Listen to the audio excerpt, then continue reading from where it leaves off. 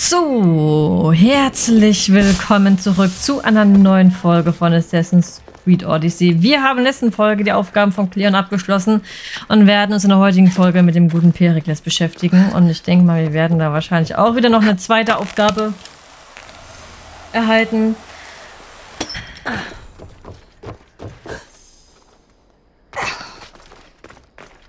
Und dann ja, haben wir, wie gesagt, hier in Athen noch die eine Aufgabe, die wir beim Aussichtspunkt haben. Und haben noch außerhalb von Athen ähm, einen Freund in der Not. Wenn ich mich recht entsinne, das werden wir aber dann danach alles in Angriff nehmen und werden uns in der Attika noch umschauen. Oder Attika. Keine Ahnung, wie es genau ausgesprochen wird. Ich hoffe, ihr verzeiht mir jegliche ähm, Aussprachefehler. Herakles Residenz. Hm. Oh. Cassandra, du hier? Phoebe! Du hast versprochen, dass wir uns wiedersehen und jetzt ist es soweit. Ich habe auch gesagt, halte ich aus Ärger raus. Und das habe ich. Na gut, die meiste Zeit jedenfalls. Wie bist du hierher gekommen? Wie bist du überhaupt hergekommen, Phoebe? Tja, ich habe etwas Geld verdient bei Margos. Oh Also Gott. hast du für die Überfahrt bezahlt. Nicht so ganz. Phoebe, Ich brauchte ja Geld für die Zeit nach meiner Ankunft hier. So eine Überfahrt ist teuer und ich wollte nicht noch länger warten, also schlich ich auf ein Schiff. Keine Sorge, niemand weiß davon. unglaublich, dass du es geschafft hast. Ich erinnere mich kaum noch an das Athen aus meiner frühen Kindheit. Aber ab und zu kommt mir irgendwas bekannt vor. Das mag ich. Das ist doch schön. Dich hätte ich hier niemals erwartet. Ich fasse nicht, dass du hier bist. Ich auch nicht.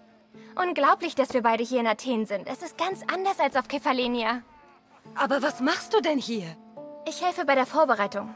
Ich muss sicherstellen, dass du all deine Waffen hier lässt und das hier anziehst. Also arbeitest du quasi. Für Perikles. Nein, für Aspasia. Warum muss ich mich umziehen? Ich verstehe nicht, warum ich mich umziehen muss. So läuft das hier eben. Erst fühlt es sich komisch an, aber man gewöhnt sich ziemlich schnell daran. Und meine Waffen? Keine Sorge, ich passe auf sie auf. Das hoffe ich auch für dich. keine Angst einjagen. Naja, Warum arbeitest du für Aspasia? Ne, wie Aspasia. kommt es, dass du für Aspasia arbeitest? Naja, es gab da so ein paar Probleme, nachdem ich in Athen angekommen war. Ich war sowas wie die Anführerin einer Waisenkinderbande, die Aspasia reinlegen wollte. Aber wir wussten nicht, wer sie war. Und du brachtest sie dazu, dich einzustellen. Nein, das war ihre Idee. Du hast Glück gehabt. Ich bin bereit reinzugehen. Schätze, ich wäre dann bereit. Bist du nicht? Also nicht so jedenfalls. Die Athener erwarten, dass du versuchst, dich anzupassen. Aber keine Angst. Ich habe das Richtige für dich. Ich werde mich Ich umziehen. ziehe mich um.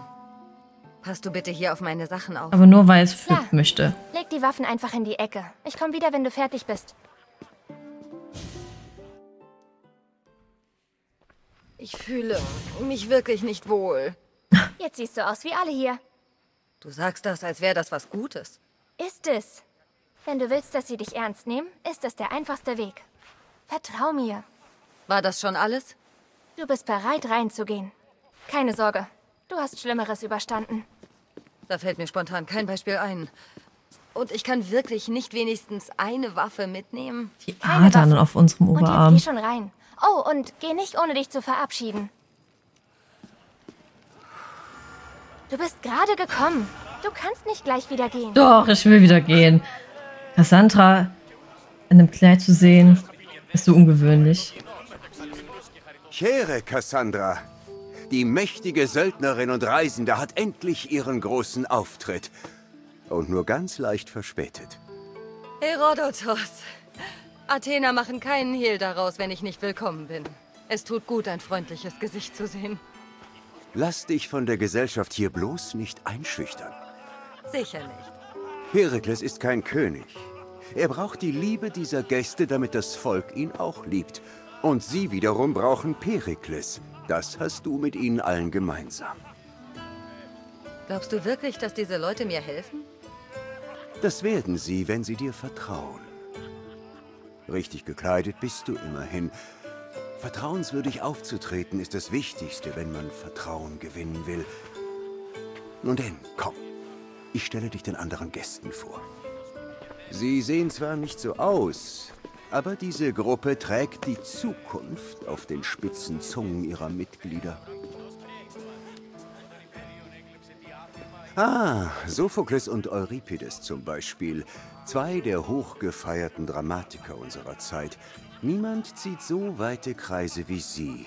Sie scheinen in einen intellektuellen Streit verwickelt zu sein, wie es ihre Art ist. Als Autor von Komödien! Ausgerechnet Komödien, Euripides!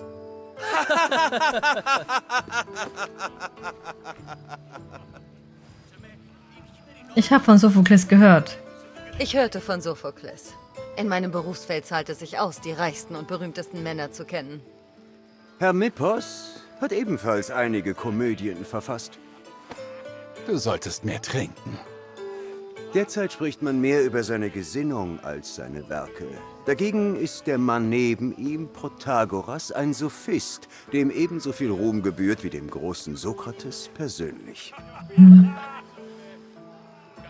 Ich bin überrascht, dass Sokrates hier ist. Sokrates einzuladen ist eine gute Art, allen den Abend zu versauen. Es überrascht mich, dass man ihn hier reinlässt. Ach, nimm Sokrates nicht ganz so ernst. Immerhin trägt er heute sogar Schuhe. Und der arme Tropf, der wie ein Affe gestikuliert, ist Trasimachos. Wenn du aufmerksam zuhörst, wirst du merken, dass er und Sokrates dieselben Argumente vorbringen. Doch der Wind seiner Gesten macht ihn taub für die Stimmen seiner Kritiker. Das habe ich überhaupt nicht gesagt. Wo ist Perikles? Oh, er kommt nie zu seinen eigenen Feiern. Da fällt mir ein, dass ich seine Hilfe bei etwas brauche. Dieser Sokrates erscheint immer da, wo ich ihn nicht erwarte. Kriegerin, schütze mich vor seinem lieblichen Blick. Oh, Alkibiades, dies ist nicht die Zeit für Eifersucht, sondern Liebe.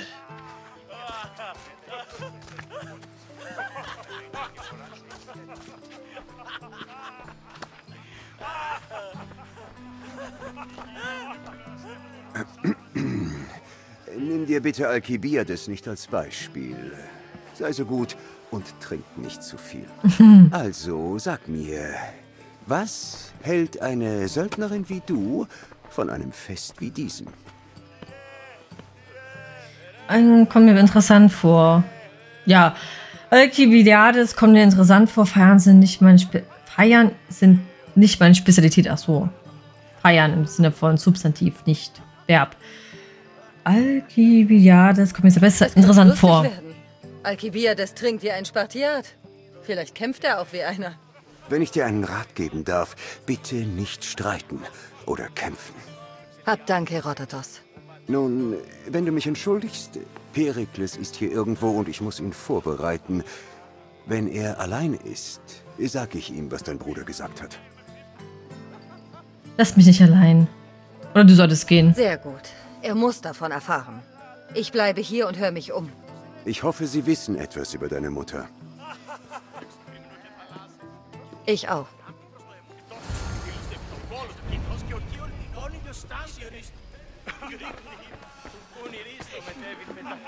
Okay. Ich mit ihm einfach reden. Vermute, du bist hier, um mich für meinen Kampf mit Euripides zu verhöhnen. Ich suche nach Hinweisen, du bist ein reiches, arrogantes Arschloch. Ich suche nach Hinweisen. Oh, ich gehe mal auf, das war kein Kampf. Ich habe viele Kämpfe gesehen. Das war keiner. Ich habe mich wirklich selbst zum Narren gemacht, nicht wahr? Ich bin Sophokles, wie du sicherlich wusstest. Und du bist? Ich brauche Informationen zu einer Person, die ich suche. Einer Spartanerin. Eine Spartanerin in Athen? Klingt interessant. Doch wenn du erwartest, dass ich von anderen Menschen Notiz nehme, erwartest du zu viel. Sprich doch mal mit Euripides. Er ist die zweitweltgewandteste Person hier.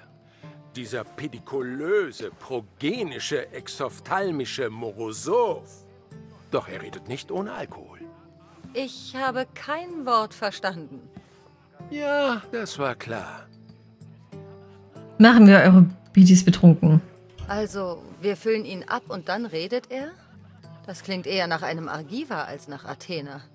Beeindruckend, Fremde. Euripides stammt aus Argos. Na schön. Wenn's sonst nichts bringt, der Feier würde es helfen. Du musst den richtigen Wein dafür wählen. In der Küche wirst du fündig.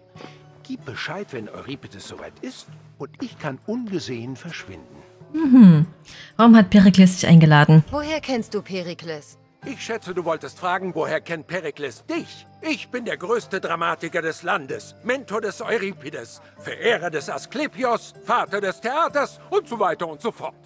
Er fühlt sich sicher geehrt, dass du dich in seiner Küche versteckst. Warum regst du dich so über Euripides auf? Die Sache mit Euripides lässt dich nicht los. Seid ihr wirklich nur Freunde? Ich bin nie nur irgendetwas Fremde. Doch ich gebe zu, Euripides und mich verbindet mehr als Brüderlichkeit. Warum er sich mit diesem Jüngling Aristophanes abgibt, das weiß Oh, man. Eifersucht. Es ist Zeit, dass die Feier in Schwung kommt. Ich hole den Wein. Wunderbar. Und wenn ich dir noch einen Rat geben darf, Aristophanes verträgt keinen süßen Wein. Ich sah, was er aus ihm macht, und es ist erschreckend Okay, lustig. süßen Wein. Es wäre keine echte Feier, wenn sich niemand übergibt. Ich sag Bescheid, ob dein Plan aufgeht. Mhm. Mal hier. Außer diesem arroganten Schreiber verirren sich nicht viele Gäste hierher. Kann ich dir irgendwie helfen? Ich komme wegen des lieblichen Weins. Ich suche den lieblichen Wein. Ja, nimm ihn. Aber stell dich hier raus, ich habe viel zu tun, ja?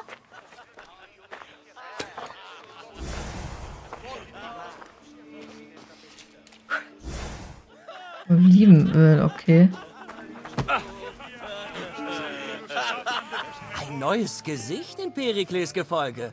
Ha, das allein ist erstaunlich genug. Du musst meine Parodie auf Kleon gesehen haben. Ich nenne sie Oranger Affe. Sag an, was hält es davon? Nenn mich nicht S. Hast du mich gerade S genannt? Pass auf, was du sagst, Athena. Es spricht und es ist streitlustig.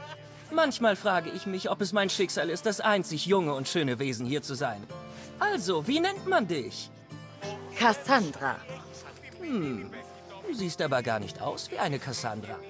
Wie dem auch sei, ich bin Aristophanes und dieser Mann ist Euripides. Oh, bitte. Stell dich selbst vor. Ich bin Euripides. Ja, ja Für schön, einen danke. Dramatiker bist du recht wortkarg. Gute Männer leben leise, wie Euripides gerne sagt. Oder, Euripides? Wenn ich mich entspannen will, kämpfe ich. Du hingegen. Komm schnell, bring ihm Wein, damit er etwas Kluges erwidern kann.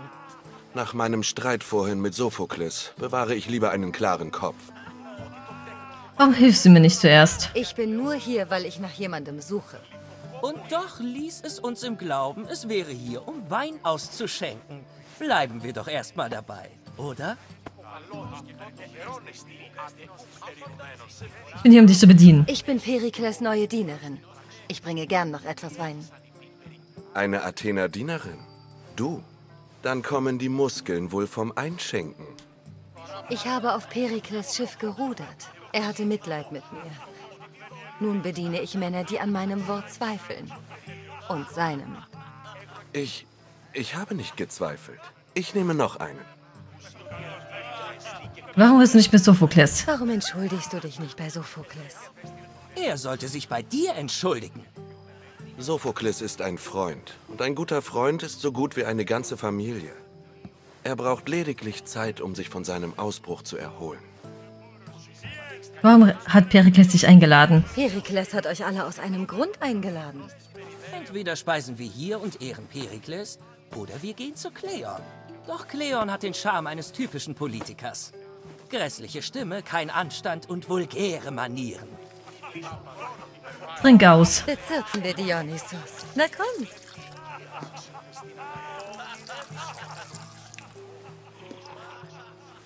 Das, Das schmeckt nach Jauche. Anfänger. Zu meiner Zeit galt das als Nektar der Götter. Noch eine Runde. Trink noch einen Wein. Bereit für mehr? Der Blick von Cassandra. Uah, diese Pisse kriege ich kaum runter. Euch zwei trinke ich doch locker unter den Tisch. Wo bleibt der Wein? Trink noch Soll ich einen. nachschenken?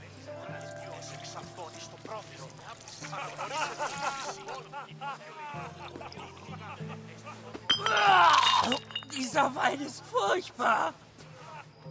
Du, ich mag dich. Wer brachte dich her? Ich kam allein. Ich suche nach einer Frau, die vor langer Zeit aus Sparta floh. Floh? Warum? Sie verlor zwei Kinder. Sie hatte keine Wahl. Sie floh, weil ihr Herz gebrochen war. Euripides, schreib ein Stück über sie. Ich hörte von spartanischen Müttern, die zu einem Heiligtum in der Argolis gingen. Sie beten dort zu Asklepios. Ich weiß es. Ich komme von dort. Ob sie sich noch Priestern anvertraut hat, nach dem, was sie durchmachen musste? Oh, dann gingen sie vielleicht zu Hippokrates. Er ist ein Heiler, der Beste sogar. Er arbeitet immer noch in Argos. Wenn sie ihn um Hilfe bat, dann wies er sie sicher nicht zurück. Ich betrinke mich gern und singe. Komm zurück, wenn du mit mir singen willst. Ja, vielleicht. Hippokrates in Argos. Ich komme. Und Euripides? Ist der schon betrunken? Euripides kann man nicht mehr, kann nicht mehr geradeaus gucken. Du kannst dein Versteck verlassen. Euripides wird dich nicht bemerken. Der bemerkt gar nichts mehr. Versteck? Höre dies. Der Krieg kommt nach Athen. Erst fallen unsere Häuser, dann rollen unsere Köpfe. Ich habe vor, mir zumindest meine Würde zu bewahren. Oder was davon übrig ist. Wenn du Perikles siehst, sag ihm Danke für diesen ereignisreichen Abend. Okay. Weiß jetzt nicht, wie ich ähm, Cassandras ähm, Mimik deuten soll. Dionysos, da bist du ja. Die anderen sind langweilig. Spielen wir ein Singspiel? Singst du gerne? Ja, du liebst es. Wie sind die Regeln? Wie stellst du dir das vor? Einer von uns singt, dann der nächste und dann wieder von vorn. Wir reimen abwechselnd Verse und wer die besten reimt, hat gewonnen. Es geht doch nicht um ein gutes Trinkspiel. Fangen wir an. Ich will auch mitsingen. Aber wer fängt an? Äh, Aristophanes. Fang du doch an, Aristophanes. Na schön. Aber es muss etwas Gutes sein. Ein Schlachtlied? Gibt es denn noch andere? Aspasias Launen sind flink wie ein Fähnchen im Wind. Und Perikles Wald, darin sperrt nur ein uns all.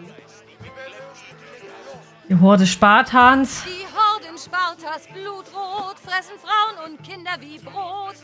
Gar nichts hält sie auf, sie stürmen die Mauern zuhauf. Perikles ist der Tod unserer Stadt. Und so bringt eure Händler und bringt eure Diener. Und sind es Söhne, so bringt ihre Väter. Es ist Krieg, Krieg, Krieg. Bringt die Mörder an den Fluss, den Blutroten, und wenn sie trinken, dann bringt die Heloten. Es ist Krieg, Krieg, Krieg. Ah. Sammelt die Schwachen. Wir rudern für so Mütter. Allein ohne Väter und Mütter rudern wir direkt in den Hades oder in den Bauch von Milos. Wir sind allein und so rudern wir für ein kurzes Leben. Rudern wir, wir, wir.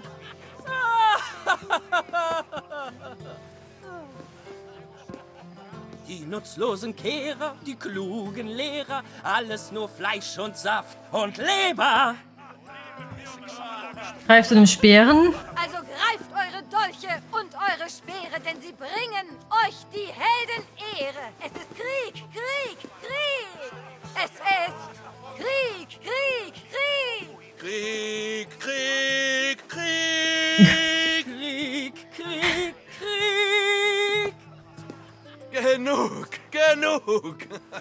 Du singst ausgezeichnet. Wirklich? Ha, Du solltest in meinen Stücken auftreten.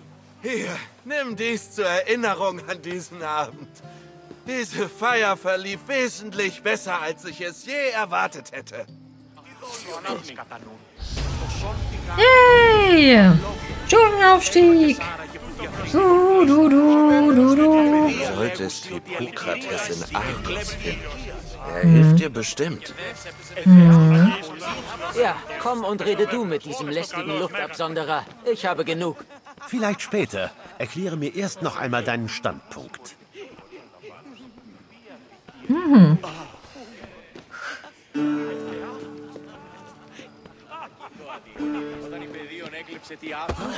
Oh, Entschuldigung. Was haben wir hier noch?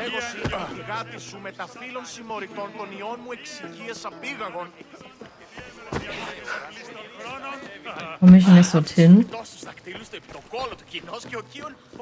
Ah, ah, anklopfen.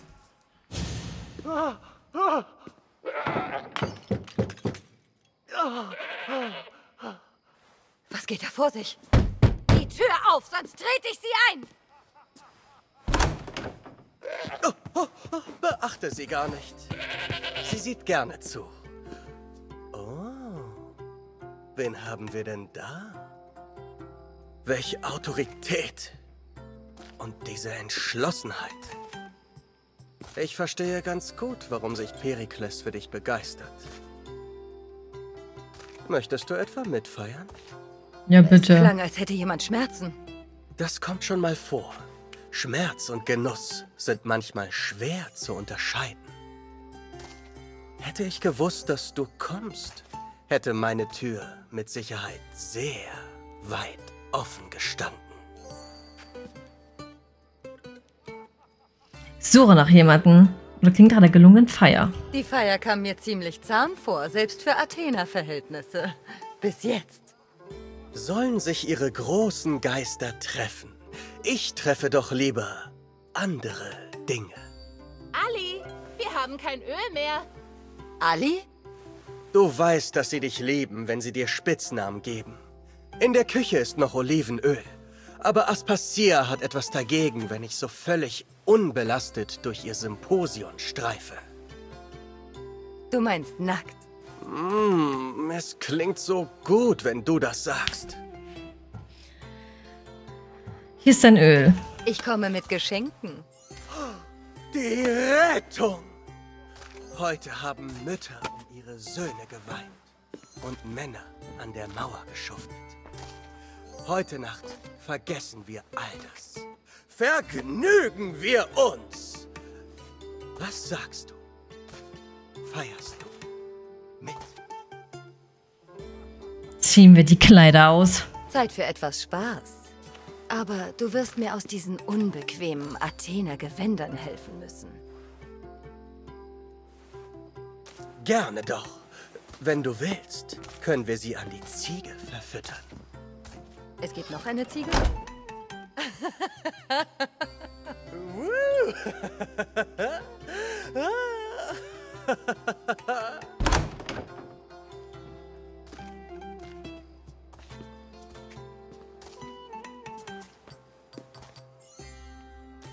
Jetzt wird es Zeit, dass du mir hilfst, Ali.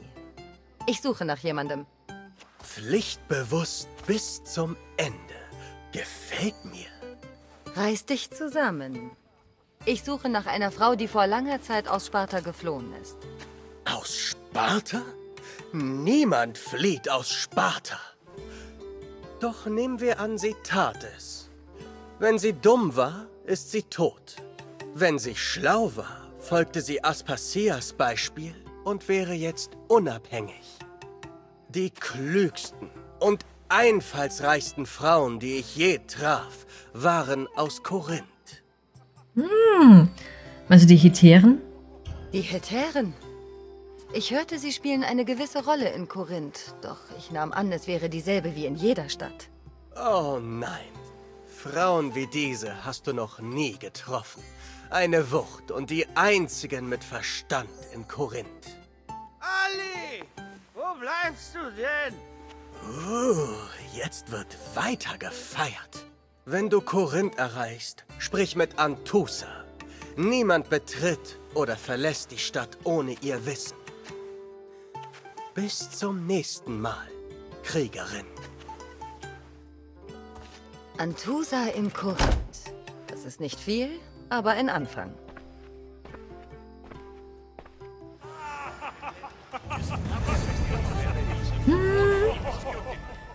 Du, du, du, du, du. Ah, da ist ja die, der Drachmen mehr wert sind als der noble Weg, der zur Erkenntnis führt. Nun, wie gesagt, Erkenntnis macht nicht satt. Doch der Geist muss auch gefüllt werden. Willst du wirklich dieses junge Ding als Vorwand benutzen, um dem Thema auszuweichen? Das kann nicht so wichtig sein. Ich bin fasziniert. Ja, wir gehen mal auf, ich bin fasziniert. Ihr streitet die ganze Nacht über ein Thema und keiner hat ein blaues Auge? Das ist echt interessant. Wir diskutieren die Natur von Herrschern. Wo ginge das besser als hier? Ich stelle dir dieselbe Frage wie Thrasymachos. Stimmst du mir zu, dass das Regieren eine Kunstform ist? Es ist eine Kunst, wie jede würdevolle Tätigkeit. Das steht nicht zur Debatte. Kunst. Medizin dient der Genesung des Patienten und nicht der des Arztes. Das Handwerk verbessert das Gebäude, nicht den Erbauer. Also sollte die Kunst des Herrschens nicht den Beherrschten zugutekommen, statt dem Herrschenden? Das ist doch absurd. Herrscher ist ungerecht, das ist Zeitverschwendung. Pff. Boah, wenn wir uns wirklich auf diese Diskussion einlassen, das ist Zeitverschwendung. Diese Diskussion ist vollkommen sinnlos. Vielleicht. Wie definierst du Kunst? Ich lass mich da nicht reinziehen. Also gut, sag mir eins. Verleiht ein Künstler seinem Stoff nicht Form und Symmetrie? Nun, ja. Recht und Gesetz tun dasselbe mit dem Volk, oder nicht? Und gibt es eine bessere Art, die Geschichte eines Volkes zu erzählen, als seine Bräuche und Gesetze zu nennen? Falls ja, muss Herrschen und Rechtsprechung eine Kunstform sein, wie Thrasymachos sagt. Wenn du es sagst. Was passiert?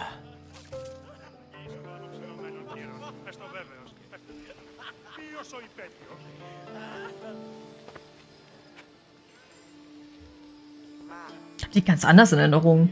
Irgendwie in blonden Haaren.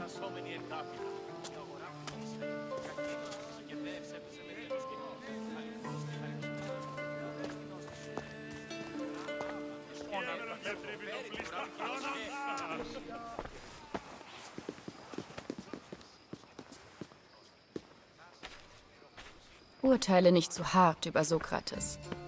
Er ist ein brillanter Kopf, selbst wenn er ein wenig anstrengend ist. Er ist doch nicht immer so, oder? Ah, Phoebe. Perikles hat sich schon auf den Balkon zurückgezogen, oder? Seine Gabe, sich unbemerkt wegzuschleichen, ist unvergleichlich. Ich kann ihn holen und Cassandra kann helfen. Jeder gehorcht, wenn sie etwas sagt. Das wäre gut. Lauf schon vor. Cassandra wird dir gleich folgen. Nun, erlaube mir, mich vorzustellen. Mein Name ist Aspasia. Es war nicht einfach, deine Spuren in Megaris zu verwischen. Das war ich nicht. Ich habe keine Ahnung, wovon du sprichst. Oh, bitte. Um hier jemanden zu überzeugen, müssen selbst deine Augen lügen. Hab mich gerade angezwinkert? Gut, ich war's. Doch es war etwas Persönliches, keine Politik. Wir alle tun, was wir tun müssen. Das ist keine Schande. Es führte dich hierher. Genau wie mich. Mhm. Die Kleidung. Sie passt dir gut, hoffe ich. Ja, danke. Es sind vermutlich die schönsten Kleider, die ich je hatte, aber mir ist etwas äh, unbehaglich, um ehrlich zu sein. Man gewöhnt sich nie wirklich daran.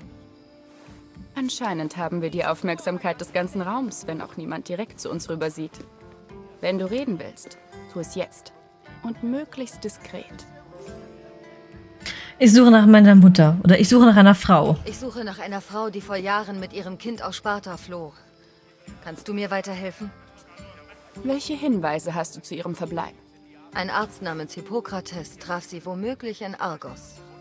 Er ist ein guter Mann. Falls du dort eine Frau namens Agathe triffst, dann richte ihr aus, Aspasia lässt sie grüßen. Was noch? Alkibiades gab mir den Namen einer Frau aus Korinth. Das sieht ihm ähnlich. Meine Freundin Antusa ist die einzige, die ich kenne, die ihr Leben in Korinth auf ehrliche Weise finanziert. Zum größten Teil ehrlich zumindest. Mehr habe ich nicht. Es gibt noch eine Möglichkeit. In einem früheren Leben sprach ich mit einer Freundin, wenn ich etwas oder jemanden suchte, einer Flottenführerin. Wie heißt sie? Ihr Name ist Xenia. Das letzte Mal traf ich sie auf Chaos. Nur eine Warnung. Wenn du zu ihr gehst, sei auf der Hut. Das Leben auf See macht die meisten zu Monstern. Hab Dank, Aspasia. Komm danach zurück zu mir. Gemeinsam finden wir die Frau, die du suchst. Nun tu Okay. mir einen Gefallen und hole Perikles hier runter, damit er die Gäste begrüßt. Ich werde dir auf deinen... Oh. Nur...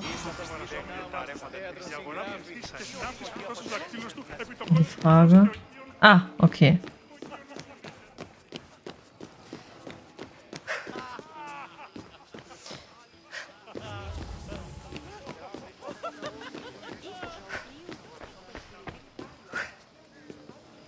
Weil ich hier überhaupt gut drauf schlafen kann auf dem Bett.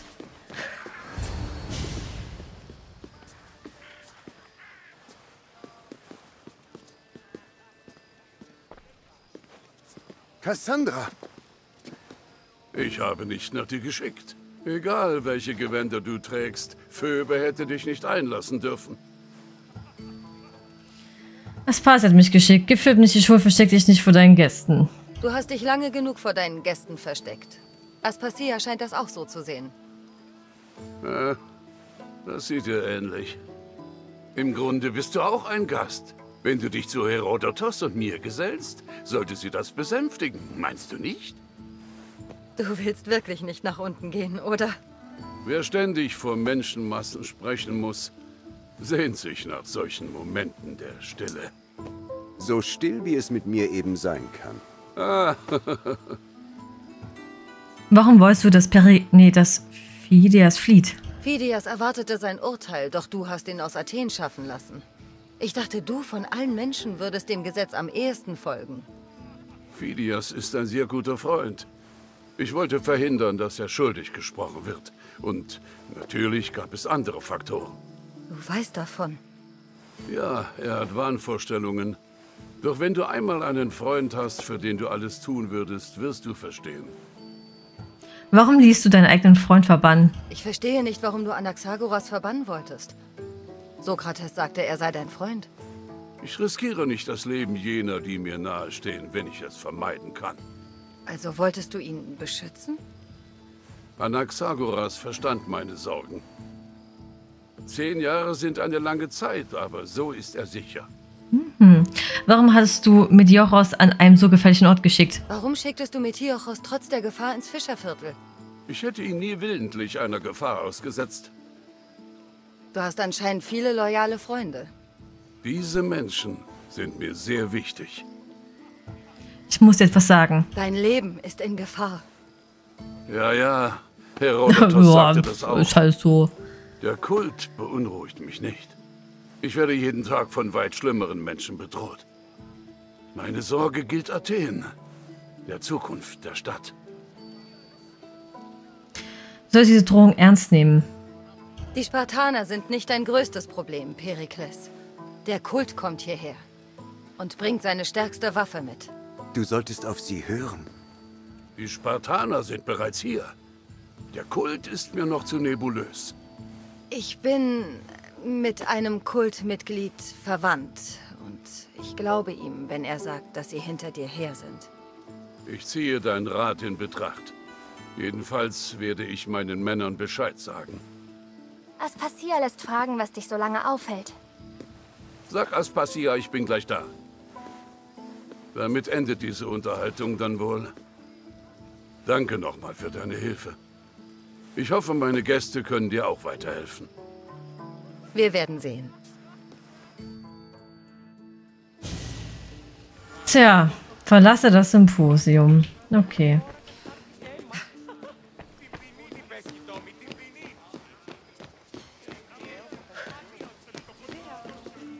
Eigentlich die Farbe bewusst gewählt, weil wir Spatialerin sind?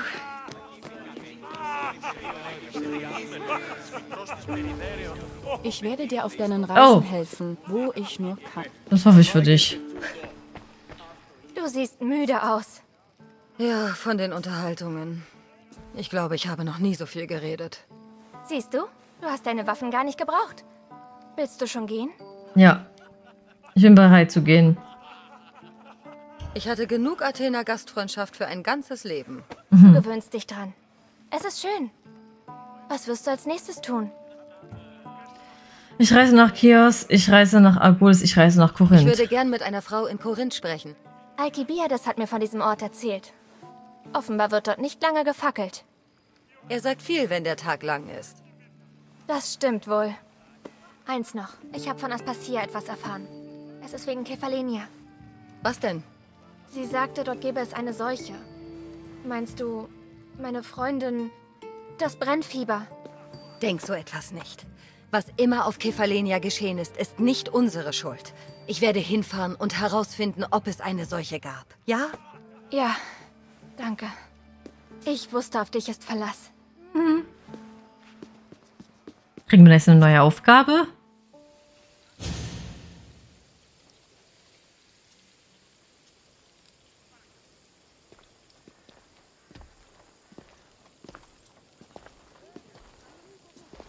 Bettelst du dieses Mal nicht darum mitzukommen? Nein, mir gefällt es hier. Und es ist nicht Kefalenia. Das heißt, du kommst zurück. Das ist wohl wahr. Und ich arbeite wirklich gern für Aspasia. Sie sagt, sie hat einen Auftrag für mich. Wir werden uns bald wiedersehen. Wir sehen so cool aus mit unserer Bemalung. Brief an den Meister, Kultistenhinweis, Perikles, Symposion. Oh Gott, der Arme. Ich hätte aber auch keinen Bock, irgendwelche Feiern immer abhalten zu müssen. Dann würde ich mich auch am liebsten verkriechen wollen. So.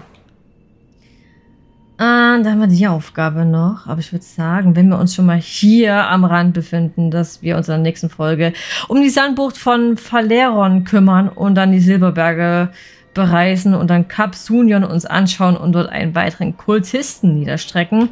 Und dann würde ich sagen, werden wir hier... Sokrates, auch der Heilige. Ja, uns noch um die Aufgaben hier kümmern.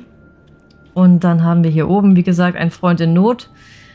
Hightor als Aufgabe werden wir auch natürlich machen. Und dann werden wir uns hier ganz langsam, ganz entspannt hier vorarbeiten. Was hier?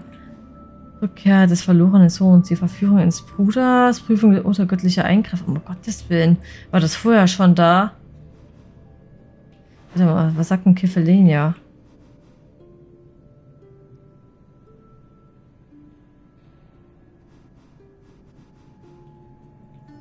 Kiffelenia, wir wissen ja, dass, ähm, dass es eine Seuche gab, aber nun gut. Dann gibt es dann doch hier keine neue Aufgabe. Ansonsten, ich google einfach mal, ob wir da jetzt doch irgendwas machen können. Nicht, dass ich jetzt hier irgendwas übersehe. Und ja, das ist so der Plan für die nächste Folge oder für die nächsten Folgen, dass wir uns erstmal um den Süden der Attika kümmern und dann werden wir uns in Athen die zwei Aufgaben noch zu Gemüte führen und dann natürlich hier nein, Freund in Not helfen und dann werden wir uns um den nordwestlichen Teil kümmern und ja genau, Bio Bugiotien können wir nämlich jetzt auch machen, weil wir sind Stufe 38. Da haben wir zumindest den großen Teil schon mal aufgedeckt und sind, denke ich mal, dann so Level 40. Ein Unrecht wieder gut machen. Ein Sturm braucht sich um die Töchter von dir. Hä? Was sind denn das für Aufgaben hier? Stresst mich schon wieder. Was ist denn hier? Insel des Unglücks. Ja, was? Sonst haben wir hier keine weiteren Aufgaben. Oh Gottes Willen. Um Gottes Willen. Oh Gott, Burnout, ja. Burnout, wenn wir diese ganzen Aufgaben hier sehen. Und dann, ja, ne, bin ich mal gespannt,